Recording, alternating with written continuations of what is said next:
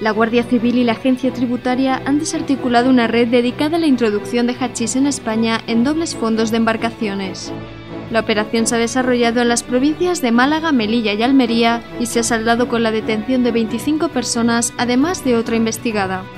Los detenidos trasladaban las embarcaciones al norte de Marruecos, donde cargaban la droga y o bien regresaban con esa misma embarcación o bien convenían un punto de encuentro en alta mar, donde trasvasaban la mercancía a otra embarcación que la trasladaba hasta la costa. Una vez en tierra, vehículos todoterreno provistos de remolques varaban la embarcación para ocultarla en un sitio seguro, donde extraían el estupefaciente para su posterior distribución. En otras ocasiones, los detenidos viajaban en ferry de Melilla a Málaga, transportando maletas con hachís en su interior.